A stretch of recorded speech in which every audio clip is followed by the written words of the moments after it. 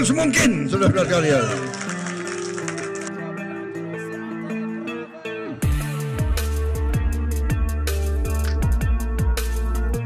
Laga Timnas U23 lawan Korea U23 berlangsung sengit dan bikin dak dikduk. Timnas Indonesia dalam laga ini menurunkan skuad terbaiknya, dalam formasi ada perubahan nama yang diturunkan sejak menit awal oleh STY. Rio Fahmi dan Komang menjadi pembeda dalam starting line up, Indonesia mengenakan jersey kedua berwarna putih, sementara Korea warna merah.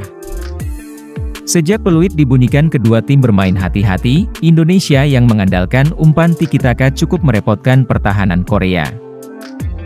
Duet Nathan dan Ivar Jenner sangat cair di 10 menit awal, petaka datang di menit ke-7, Korea hampir unggul jika golnya tidak dianulir wasit karena offside. Barulah Indonesia unggul lebih dulu di menit ke-15 melalui gol indah Rafael Struik, tendangan melengkungnya berhasil menghujam gawang Korea, Made Pokonama. Unggul 1-0 Indonesia bermain tenang dan menekan, peluang Marcelino di menit 37 hampir menjadi gol jika tidak melenceng.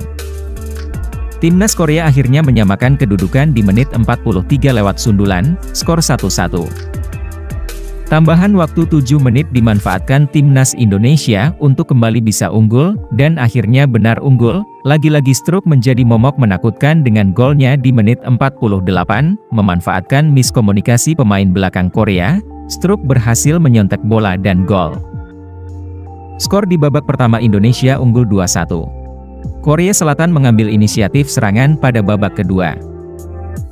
Bermain dengan 10 pemain, Korea justru semakin agresif dan Indonesia kesulitan keluar dari tekanan.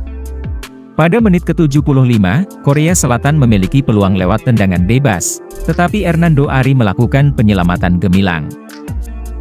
Timnas Indonesia lengah menjelang akhir pertandingan.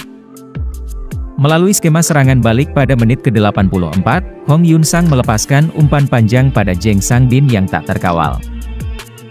Ia melepaskan tendangan mendatar yang tak mampu dihalau Hernando Ari. Skor 2-2 hingga akhir laga. Laga harus dilakukan perpanjangan waktu, namun tidak ada gol tercipta. Adu penalti pun tak terhindarkan, Arhan Fikri menjadi satu-satunya yang gagal.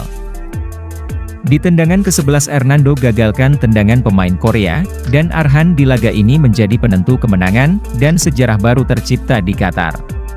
Mantap, semoga di babak selanjutnya Indonesia kembali meraih kemenangan dan masuk ke partai final amin.